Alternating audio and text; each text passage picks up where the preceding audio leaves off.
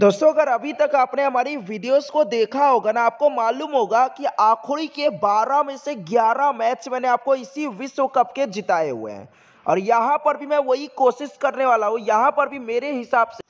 अगर ऑस्ट्रेलिया वाले पहले बॉल कर रहे हैं, वहाँ पर हमारे जीतने के चांस काफ़ी अच्छे होंगे। देखो, एक चीज़ है, ऑस्ट्रेलिया के प्लेयर्स के बारे में सभी को मालूम है, लेकिन आपको जिताएँगे कौन? वो होंगे स्कॉटलैंड के प्लेयर अभी तक हम क्यों विश्व कप में जीत रहे हैं? क्योंकि सभी लोग मेन टीम के बारे में जान रहे हैं, लेकिन ये जो सामने टीम है ना नेमीबिया हो गई ओमान हो गई स्कॉटलैंड हो गई युगांडा हो गई पीएनजी हो गई, ये सब टीमों के मैचेस हमने छह सालों से खेल रहे हैं। और इसी वजह से इनके एक एक प्लेयर के बारे में हमें पूरी तरीके से जानकारी है पिछले मैच बी मैकमुलन जिसको कोई लेकर के नहीं चल रहा था। इस प्लेयर ने ओमान के सामने अच्छा परफॉर्म किया और इसने हमें अपने दम पे जिताया था। जिन लोगों ने पिछले मैच की हमारी वीडियो को देखा होगा, उनको मालूम होगा बी मैकमुलन के बारे में मैं कितना, कितनी बुरी तरीके से बोल रहा था कि ये ज़रूर परफॉर्म करेगा और इसने किया भी, और मैंने लिया भी। इस वाले मैच में आपको मेनली कहूँगा कि यहाँ से स्कॉटलैंड के किसी भी बॉलर के ऊपर भरोसा मत करना, किसी भी। पहले आईसीसी ने ऑस्ट्रेलिया को पहले ही एक वो दे दिया है कि अगर ये लोग जानबूझ के स्कॉटलैंड से हार रहे हैं तो इनके टीम के ऊपर एक्शन लिया जाएगा। यानी कि ये लोग जानबूझ के तो नहीं हारेंगे, हो। वन परसेंट के करीब चांस है कि ये लोग जानबूझ के बराबरी का मैच दिखा करके हो सकता है हार भी जाए। वैसे ऐसा करेंगे नहीं, क्योंकि कोई नहीं चाहेगा कि इतनी बड़ी टीम ऑस्ट्रेलिया की टीम ऐसा करे इंग्लैंड को बाहर करने के लिए। मुझे नहीं लगता ऐसा होने वाला है। तो ऑस्ट्रेलिया की टीम जीतने वाली है और एक चीज़ ज़रूरी है, वो क्या है ना कि स्कॉटलैंड के प्लेयर यहाँ पे आपके लिए ट्रंप का प्लेयर रहेंगे, वो जिताएँगे। कौन कौन से प्लेयर दो प्लेयर है मेरे पास। ऐसी लूसिया पे ये मैच होगा ना, यानी कि यहाँ पे रन बनेंगे। यहाँ पे हाई स्कोरिंग गेम होते हैं। रन आसानी से यहाँ पे बनाए जाते हैं। बॉलर्स यहाँ पे इतना गेम में नहीं रहते हैं। यानी कि यहाँ पे रन बनेंगे। वन फोर का एवरेज स्कोर है और स्कॉटलैंड की टीम भी यहाँ पे एक सौ बीस रन के करीब आसानी से आपको बना करके देगी।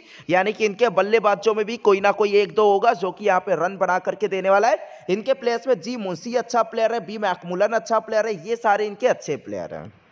ये जो पाँच है, ये इनके अच्छे बल्लेबाज हैं। जिसमें से मैं ज़्यादा भरोसा इस वाले मैच बी मैकमुलन के ऊपर नहीं करूँगा। क्यों? क्योंकि सामने ऑस्ट्रेलिया की टीम और ये एक ऐसा प्लेयर ना, जो कि सिर्फ़ मारेगा या फिर आउट होगा। मारेगा या जाएगा? आएगा, मारेगा, जाएगा। आएगा, मारेगा, जाएगा। ये कैसा प्लेयर है। तो मैकमुलन सामने ऑस्ट्रेलिया जैसी टीम है और ये जब बल्लेबाजी के लिए आएगा। वहाँ पे हो सकता है कि एदम जाम्पा बॉल करे। जाम्पा बॉल करेगा तो वहाँ पे रन बनाना इसके लिए बिल्कुल आसान नहीं होगा। इसी वजह से सबसे पहले मैं मैकमुलन को लेकर के चलने का नहीं सोच रहा हूँ। नहीं सोच रहा हूँ। यहाँ से मैं आर बैरिंगटन को लेने का नहीं सोच रहा हूँ, क्योंकि इसने जो आखिरी के अपने 20 मैच खेले ना, उसमें से 17 मैच बुरी तरीके से फ्लॉप हुआ है। सामने मज़बूत टीम है और ये स्कॉटलैंड की टीम और से कप्तानी कर रहा, हो सकता है कि ऐसा कैप सही परफॉर्म कर जाए, लेकिन वैसे भी कोई इसको लेकर के नहीं चल रहा है, और वैसे भी ये फॉर्म में भी नहीं है तो ऐसे प्लेयर के ऊपर रिस्क नहीं लेंगे। तो बी मैकमुलर और आर बैरिंगटन को नहीं लेना है, ये हो गया। अब बचे हुए जो तीन प्लेयर है ना, इनमें से एम लीस को मेनली ये तब ज़्यादा अच्छा परफॉर्म करेगा जब इसकी टीम पहले बॉल करेगी। इसकी टीम जब पहले बॉल करेगी, वहाँ पे आपको दो ओवर से लेकर के तीन ओवर बॉल भी कर लेगा। और फिर ये बल्लेबाजी में भी आकर के दस रन, बीस रन बना करके दे सकता है। प्लेयर काफ़ी सही है। कहीं अगर इसने तीस रन बना लिए तो भी आपको ड्रीम टीम में नज़र आ जाएगा। कहीं अगर इसने एक विकेट ले लिया पाँच रन भी बना लिया, वहाँ पर भी आपको फिफ्टी करीब पॉइंट्स दिला जाएगा। तो इसी वजह से एमलिस के एक सही प्लेयर बन के साबित हो सकता है। और जी मुंशी, इनका सबसे मेन बल्लेबाज अगर अगर वापस से मिचल इशार्क ऑस्ट्रेलिया की ओर से मिचेल इशार को नहीं खिलाया जा रहा है। तो समझो कि ऑस्ट्रेलिया के जो शुरू के बॉलर्स है वो इतने तगड़े नहीं होंगे। वहाँ पे बॉल करेगा जोश हैजलवुड और मार्कस स्टोइनिस यानी कि शुरू के जो बल्लेबाज होंगे, अगर ये संभल के खेले तो ये रन बना सकते हैं। दोनों ओपनर्स हैं और इन्हें मालूम है कि इस पिच पे रन बनने वाले हैं। तो अगर ये लोग संभल के खेलेंगे, जैसे कि इन लोगों ने इंग्लैंड के सामने खेला था, नब्बे रन के करीब बना चुके थे है ना, बारिश हुई, फिर मैच में आए, फिर रन बनाए। तो ये दोनों प्लेयर ने वहाँ पे गजब की बल्लेबाजी की थी। सामने वो भी अच्छी टीम थी।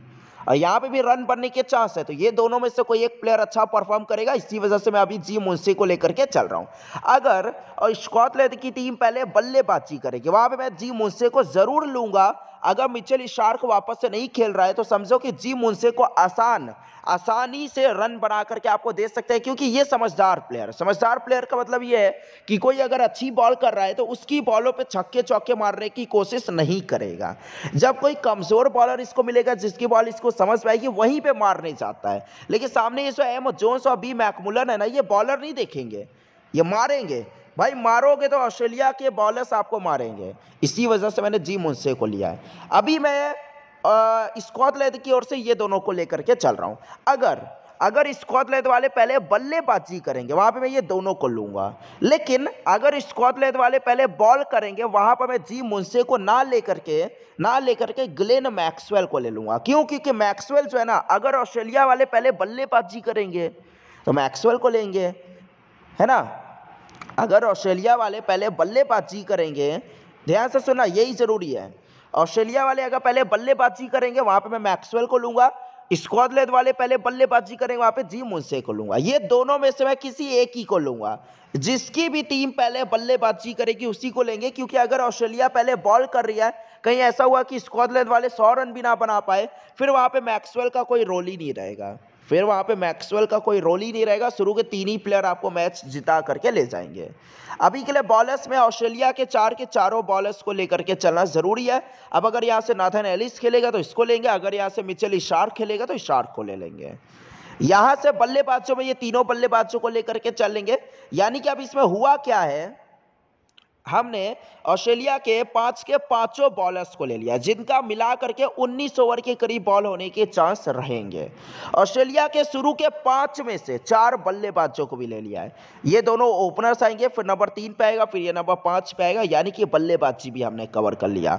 अब यहाँ पे मैथ्यू वेद बल्लेबाजी में काफ़ी नीचे आएगा सेवन नंबर पर आएगा तो इसको लेने का कोई रोल नहीं है। एम क्रॉस को ही ले लेंगे, अगर 20-25 रन बना दिया काम कर देगा, ऐसा कीपर भी खेलेगा तो इसी को ले लेंगे।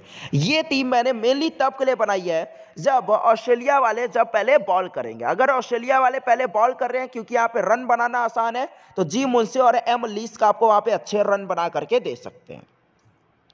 अब इसमें कैप और वीसी आपके लिए कौन कौन अच्छे प्लेयर रहेंगे? क्योंकि ये टीम मैंने तब के लिए बनाई है जब ऑस्ट्रेलिया वाले पहले बॉल करेंगे। यानी कि ऑस्ट्रेलिया के बॉलर्स को ही कैप और वीसी बना करके चलना है।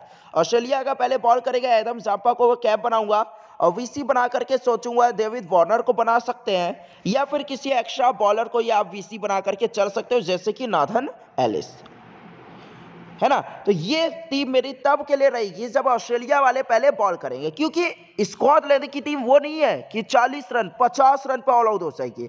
ये टीम एक अच्छी टीम है, इनके पास बल्लेबाज काफ़ी अच्छे हैं। यानी कि ऑस्ट्रेलिया की ओर से जो बॉलर आखुरी की ओर से वो बॉल करेगा, नाथन एलिस ये आपको अच्छी बॉल करके दे सकता है। क्योंकि आखुरी की ओर से स्कॉटलैंड की टीम भी वहाँ पे रन बनाने को जाएँगे, वहाँ पे कैच वगैरह देंगे। तो वीसी के लिए आपके दो अच्छे प्लेयर रहेंगे, पैद कमिस और नाथन एलिस। ये दोनों आपको आखुरी की ओर से बॉल करके देने वाले हैं। अब इसमें आप मार्कस स्टॉइनिस को कैप बना सकते हो जब ऑस्ट्रेलिया वाले जब पहले बल्लेबाजी कर रहे हैं। क्योंकि पहले बल्लेबाजी में रन भी बनाएगा, फिर ये बॉल से भी आपको तीन ओवर करीब बॉल भी करके देगा। बल्लेबाजों में तीनों में से किसी को भी कैप बना सकते हो, क्योंकि ये दोनों प्लेयर फॉर्म में है। अब मिचल मार्स जो है कभी भी बॉलिंग से भी ओवर कर सकता है, अपनी कप्तानी में। और इसी पिच पे, इसी पिच पे आखिरी के चार मैचों फोर्टी थ्री के एवरेज से रन बनाया है।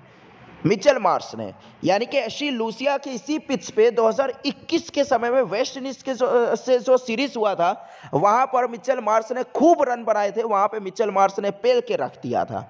तो इस पिच पे मिचेल मार्स भी आपके लिए कैप ऑफ़ इसी के लिए एक अच्छा प्लेयर रहेगा। अभी के लिए मैंने ऑस्ट्रेलिया की टीम अगर पहले बॉल करेगी, ऐसी टीम बनाऊँगा ऑस्ट्रेलिया वाले अगर पहले बल्लेबाजी करेंगे, वहाँ पे जी मुंसे को ना लेकर के गिलेन मैक्सवेल को ले लेंगे। वहाँ पर फिर मैं कैप ऑफ़ इसी में शॉइनिस को कैप बना सकता हूँ, एडम जापा को बना लूँगा। और यहाँ से दोनों से ओपनर सनत रविस है तो डेविड वार्नर, ये चार प्लेयर फिर आपके लिए कैप ऑफ़ इसी के लिए अच्छे रहेंगे, जब ऑस्ट्रेलिया वाले पहले बल्लेबाजी करेंगे।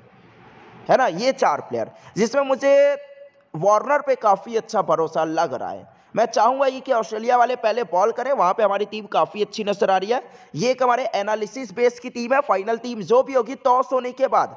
आखिरी के दस मिनट में स्क्रीन के ज़रिए मैं अपने इसी टेलीग्राम चैनल का आपको फ्री में अपनी फाइनल टीम भेज दूँगा हमारे इसी टेलीग्राम चैनल का लिंक इसी वीडियो के डिस्क्रिप्शन में सबसे पिन किया हुआ मिल जाएगा। अभी कभी इस चैनल पे सौ सौ यहीं पे अपनी फाइनल टीम आपको भेजने वाला हूँ। चैनल पे पहली बार आए हो, नए आए हो, अभी के भी चैनल को सब्सक्राइब कर लो। इसमें आपको कोई चार्ज नहीं देना, आपके लिए फ्री का लाल बटन है। एक एक वीडियोस बनाने, तीन तीन, चार चार घंटे का एनालिसिस लग जाता है। काफ़ी समय लगता है तो आपको फ्री का फ्री का लाल बटन है, सब्सक्राइब ज़रूर कर लेना, कोई चार्ज नहीं लग रहा है, जल्दी से